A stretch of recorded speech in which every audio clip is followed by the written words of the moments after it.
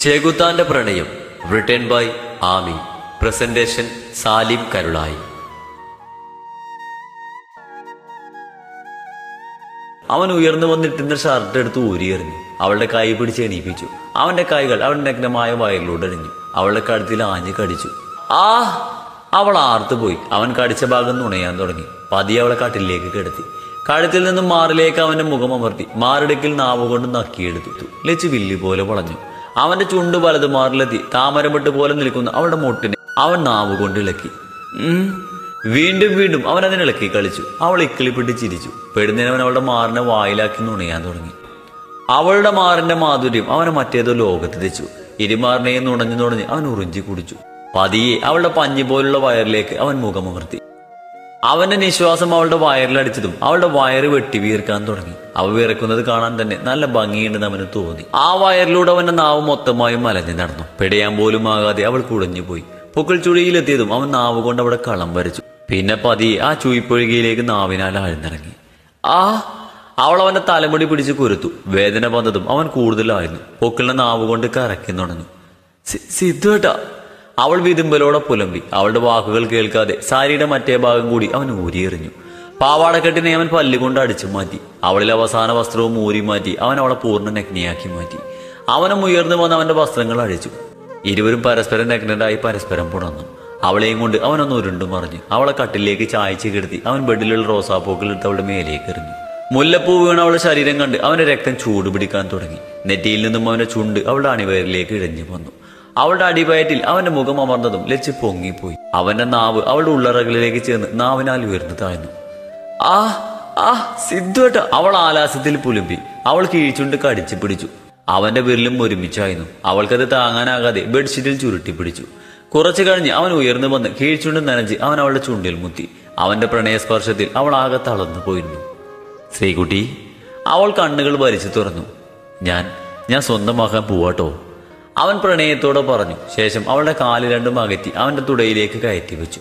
പതിയെ അവൻ അവളിലേക്ക് പടർന്നു. ആ പതിയെ പതിയെ അവൻ അവളിലേക്ക് ആഴ്ന്നു. അവൾ വേദന മൂലം കരയാൻ തുടങ്ങി. ആ മതി മതി സിദ്ധുവേട്ട ആ ആ വേദനിക്കുന്നു. ഇല്ല മോളെ കഴിഞ്ഞൂടാ. വേദന എപ്പം മാറും? ആ അവന്റെ ഉയർച്ച താഴ്ചകൾ വേഗത്തിലായി അവൾ വേദന കൊണ്ട് പിടഞ്ഞു. പക്ഷെ അതിന് മരുന്നായി. അവന്റെ ചുണ്ടുകൾ അവളുടെ ചുണ്ടുകളെ പൊതിഞ്ഞു. അവളിൽ നിന്നും വേദന അകന്ന് മാറാൻ തുടങ്ങി. അവളെ മാറ്റെന്തൊക്കെയോ വികാരങ്ങൾ ഇരുവരിലും ഉടലെടുക്കാൻ തുടങ്ങി. അവൻ അവളെ പുണർന്നുകൊണ്ട് ഉരുണ്ടും പറഞ്ഞു അവൻ അടിയിലും അവൾ മുകളിലായി. ഇരുവരും നന്നായി തന്നെ കിതച്ചു. പിന്നീട് വീണ്ടും അവൻ അവളിലേക്ക് ഉയർന്നു താഴ്ന്നു. അവൾ വില്ലു പോലെ വളഞ്ഞു. അവൻ അവളെ വലിച്ചുകൊണ്ട് നെഞ്ചോട് ചേർത്ത് പിടിച്ചു. അവർ പരസ്പരം മത്സരിച്ച് സ്നേഹിച്ചു കൊണ്ടിരുന്നു ആ രാവ് അവരുടെ മധുവിതായി തീർന്നു. അവളെ പൂർണമായും അവന്റെതാക്കി മാറ്റി എപ്പോഴും ഇരുവരും നിദ്രയെ പുലുക്കി. രാവിലെ ക്രിസ് നോക്കുമ്പോൾ ശിവ അടുത്തുണ്ടായിരുന്നില്ല. അവൻ എണീറ്റ് ചുറ്റും നോക്കി. പ്രിയ പ്രിയ ഈ പെണ്ണിത് എവിടെ പോയി? അവൻ പുതപ്പ് മാറ്റി എണീറ്റു. ആ വയറ് താങ്ങി വിളിത് എവിടെ പോയി? അവൻ മുടിയൊന്നും മാടിക്കൊണ്ട് ബാൽക്കണിയിലേക്ക് ഓടി. അവിടെ നോക്കിയപ്പോൾ അവൾ അവിടെ ഇല്ല. താഴെ ഉണ്ടാകുമെന്ന് വിചാരിച്ച് അവൻ താഴേക്ക് ഓടി. ഹാളിൽ നോക്കിയപ്പോൾ അവിടെ ആരെയും കണ്ടില്ല. അവന് ദേഷ്യം വരാൻ തുടങ്ങി. അവൻ സോഫയിലിരുന്നു. ആരോ കോഫി കപ്പ് തനിക്ക് നേരെ നീട്ടിയത് കണ്ടാണ് അവൻ മുകളിലേക്ക് നോക്കുന്നത്. ശിവ അവൾ അവനെ നോക്കി എന്തേന്ന് പുരുക്കം പൊന്തിച്ച് കാണിച്ചു. എന്നാൽ അവൻ അവളുടെ മുഖത്തേക്ക് തന്നെ നോക്കിയിരിക്കുകയായിരുന്നു. രാവിലെ കുളിച്ച് ഈറനായി തലയിൽ തോർത്തുമുണ്ട് ചുറ്റി കെട്ടിവെച്ചിട്ടുണ്ട് രണ്ട് മൂന്ന് മുടിയിലകൾ അവളുടെ മുഖത്തേക്ക് വീണ് കിടക്കുന്നു. നെറ്റിയിൽ സിന്ദൂരപ്പൊട്ടും അതിന് മുകളിലായി ചന്ദനക്കുറിയും സേറ്റ് സാരിയാണ് ഉടുത്തത്. ശരിക്കും ഇല്ലത്തമ്മ തന്നെ. കോഫി വേണ്ടേ? നീ ഇതെവിടെ പോയതായിരുന്നു. നിന്നെ എത്ര തിരഞ്ഞെന്നറിയോ ഞാൻ എങ്ങോട്ട് പോകാൻ? രാവിലെ എന്നിട്ട് പൂജാമുറി പോയി തോഴാനും പറ്റില്ലേ? ഞാനൊന്നും പറയുന്നില്ല. ഉം. അല്ല ഏട്ടനെ എണീറ്റില്ലേ? അവൻ അല്പം കഴിഞ്ഞു വന്നോളും. അതെന്താ? അതോ നിന്റെ ഡെലിവറി കഴിയട്ടെ? എന്നിട്ട് ഞാൻ കാണിച്ചു തരാം. അവൻ കുസൃതിയോടെ പറഞ്ഞതും അവൾ കൂർപ്പിച്ചു നോക്കി. ഈ ഇടെ നിനക്കിപ്പോ വല്ലാത്ത മാറ്റം. എന്നെ നീ അടുത്തേക്ക് പോലും അടുപ്പിക്കുന്നില്ല. എങ്ങനെ അടുപ്പിക്കും? നിങ്ങൾ അടുത്തേക്ക് വന്നാ പിന്നെ റോമോ അല്ലേ? വയറ്റിൽ കൊച്ചു കുഞ്ഞുങ്ങളുണ്ടെന്ന് നിങ്ങൾക്ക് തോന്നുന്നു അന്നേരം? എന്റെ ഇല്ല തമ്മേ ഞാൻ അങ്ങോട്ട് വരുന്നില്ല. ബട്ട് നിന്റെ ലിപ്സ് ഞാൻ മിസ് ചെയ്യുന്നുവല്ലാതെ അവൻ അവളെ പുണർന്നുകൊണ്ട് പറഞ്ഞു അവൾ നാണം കാരണം തലതായി പിയൂട്ടാ എന്നാടി പണി എനിക്ക് നിന്നെ? അവൻ പാതി നിർത്തിയിട്ട് അവളെ നോക്കി. അവൾ ഒന്നും മിണ്ടാതെ കോഫി അവന് നേരെ നീട്ടി. അവൻ അതൊരിറക്കെ കുടിച്ചു. അവൾ കുടിപ്പിച്ചാലേ അവൻ കുടിക്കൂ. ഈ സമയം സിദ്ധുവിന്റെ മുറിയിൽ. ആദ്യം കണ്ണു തുറന്നത് സിദ്ധുവാണ്. അവൻ നോക്കുമ്പോൾ തന്റെ നെഞ്ചിൽ പൂച്ചക്കുഞ്ഞിനെ പോലെ കിടന്നിറുകയാണ് ലേച്ചു. തലേന്ന് രാത്രിയുടെ അവശേഷിപ്പ് എന്നോണം അവളുടെ കഴുത്തിലും മാറിലുമായി അവൻ കടിച്ച പാടുകൾ. അവൻ പതിയെ അവളുടെ തലയിൽ തലോടി. ആ നേരം അവൾ കണ്ണു തുറന്നു. അവൾ അവന്റെ നെഞ്ചിലാണ് കിടക്കുന്നത്. അവൾ അവനെ നോക്കി. അവൻ പുഞ്ചിരിയോടെ അവൾ നെറ്റിയിൽ ചുംബിച്ചു. ഗുഡ് മോർണിംഗ് അവൾ പുഞ്ചിരിയോടെ എണീറ്റു. പെട്ടെന്ന് പുതപ്പ് അവളുടെ ദേഹത്തിൽ നിന്ന് അടർന്നു വീണു. അവൾ ഞെട്ടിപ്പിടഞ്ഞുകൊണ്ട് അത് നേരെയൊക്കെ നോക്കിയതും അവനോട് തന്നെ നെഞ്ചിലേക്ക് വലിച്ചിട്ടു. എന്നാത്തിനടി മറക്കുന്നേ? എല്ലാം ഞാൻ ഡീറ്റെയിൽ ആയിട്ട് ഇന്നലെ കണ്ടതല്ലേ? ലച്ചു നാണം കാരണം അവനിൽ നിന്നും അകന്നു മാറാൻ തുടങ്ങി. എന്നാൽ അവളെ വിടാതെ പിടിച്ചുകൊണ്ട് അവനും വീട് സിദ്ധട്ടാ ഞാൻ എണീക്കട്ടെ. കുറച്ചു നേരം കൂടി കിടക്കാ ശ്രീ. വാ. വിടന്നേ അവർക്ക് എന്ത് വിചാരിക്കും? എന്ത് വിചാരിക്കാൻ? ഒന്ന് പോ ശ്രീ. അവൻ ചിരിയോടെ കമിഴ്ന്ന് കിടന്നു. അവൾ പുതപ്പെടുത്ത് ദേഹം മൊത്തം ചുറ്റി ബാത്റൂമിലേക്ക് ഓടി. ഡേ നിക്കടി അവിടെ. അവൻ എണീറ്റ് വരുമ്പോഴേക്കും അവൾ ഡോർ ലോക്ക് ചെയ്ത് കഴിഞ്ഞിരുന്നു. കുറുമ്പി.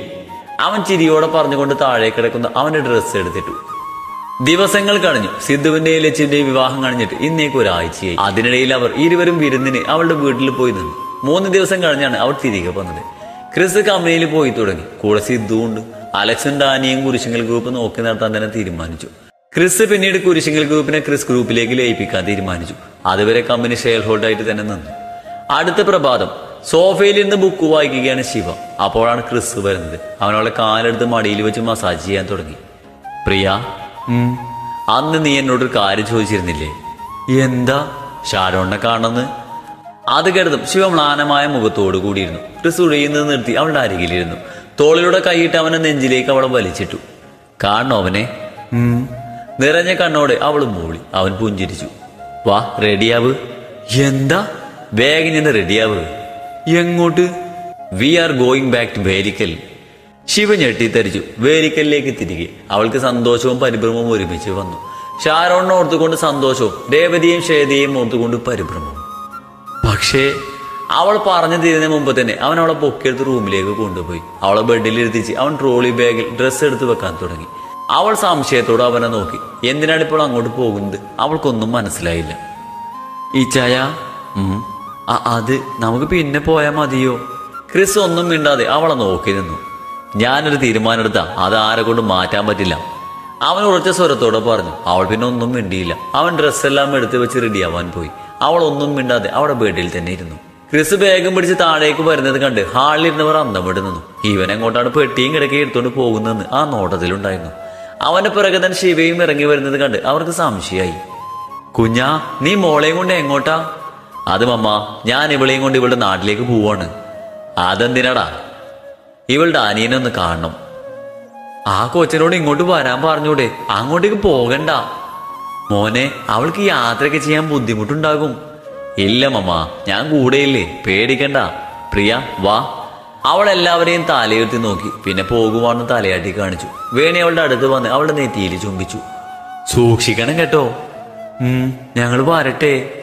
നോക്കി പോണേ മക്കളെ. അവരതിന് മറുപടിയായി തലയാട്ടി. ശേഷം പിന്തിരിഞ്ഞ് നടന്നു. അവരുടെ കൂടെ ബാക്കിയുള്ളവർ വരാന്തയിലേക്ക് കൂടെ ചെന്നു. ശിവയെ കാറിൽ സൂക്ഷിച്ചിരുത്തി ഡോർ അടച്ച് അവൻ ഡ്രൈവിംഗ് സീറ്റിലേക്ക് ഇരിക്കാൻ തുണിഞ്ഞതും സിദ്ധു അവനെ തടഞ്ഞു.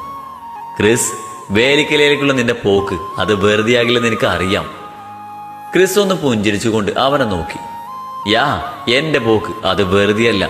To begin my second revenge it must be place there in Velakkal I will not spare any one who are my guard അതിനു വേണ്ടി ഡാ ഏയ് അവരെ ഞാൻ കൊല്ലുകയെന്നില്ല നരകിപ്പിക്കും. ഇഞ്ചിഞ്ചായി നരകിപ്പിക്കും. എല്ലാം തീർത്തിട്ട് ഞാൻ വരും. സിദ്ധൊന്നും മിണ്ടിയില്ല. അവൻ ക്രിസിനെ രേഖപ്പെടുന്നു ശേഷം അകന്ന് മാറിയതും ക്രിസ് കാറിൽ കയറി. അവരുടെ വണ്ടി മുന്നോട്ടെടുത്തു. എല്ലാവരും അവർ പോകുന്നത് നോക്കി നിന്നു. ശിവ അവനെ നോക്കി. ചുണ്ടിലൊരു പുഞ്ചിരിയുണ്ട്. അവൾ അവന്റെ കയ്യിലേക്ക് ചാഞ്ഞു കിടന്നു. അവൻ ചിരിയോടെ അവളെ നോക്കി. അവളുടെ നെറ്റിയിൽ ചുംബിച്ച ശേഷം അവൻ കാർ ഡ്രൈവ് ചെയ്തു. അങ്ങ് വേലിക്കരി. ഷാരോൺ പതിവ് പോലെ സ്കൂൾ വിട്ട് വന്നു. ഡോറ് തുറന്നതും അവൻ വീഴാൻ പോയി. പക്ഷെ ഡോറിന്റെ ഹാൻഡിൽ പിടിച്ചു നിന്നത് കൊണ്ട് അവൻ വീണില്ല. അവൻ നോക്കുമ്പോൾ ഹാൾ മൊത്തം വൃത്തികേടായിരിക്കുന്നു. പേപ്പറും തുണിയും കുപ്പികളും എല്ലാം കൊണ്ടും ചവർ കൂമ്പാരം പോലെ. അവൻ ചുറ്റും നോക്കി. ഹാളിലെ സോഫയിൽ നിന്ന് ടി വി കാണുകയാണ് രേവതി. അവിടെ ഇരിപ്പ് കണ്ട് അവന് ദേഷ്യം വന്നു. അമ്മ! അവൻ ദേഷ്യത്തോടെ വിളിച്ചു. രേവതി തലയിരുത്തി നോക്കി. എന്തൊക്കെ അമ്മ ഈ കാണുന്നേ? ഇവിടെ ഒന്ന് വൃത്തിയാക്കി കൂടെ ചേ ചാവർ കൂമ്പാരം പോലെ. നിനക്ക് വൃത്തിയാക്കണമെങ്കിൽ നീ വൃത്തിയാക്കിക്കോ.